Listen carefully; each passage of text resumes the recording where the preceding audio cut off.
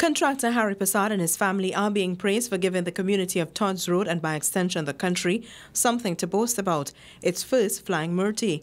The 70-foot Murti of Lord Hanuman was unveiled on Saturday and attracted the attention of Caroni East MP Dr. Tim Gopi Couva South MP Rudy Singh and Chaguanas Mayor Orlando Nagessar, to name a few.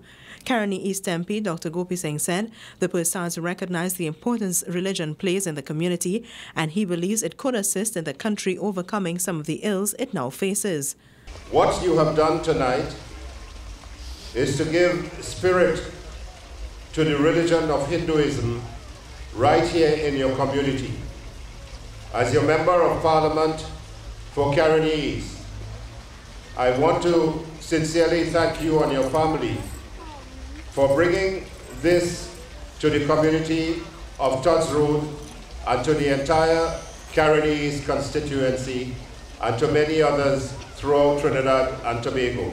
Minister Indarsingh said the sacrifice made by the Prasads must not be forgotten since it has led to an unprecedented achievement in Hinduism in the country. Here tonight is indeed something that is worthy of tremendous commendation because just as his mother would have been selfless in her service, Hanumanji was selfless in his service to ensure that Ram triumphed and ensure that good prevailed over evil. There are plans to construct more Murtis around the country. For CNC3, I'm Melissa Williams.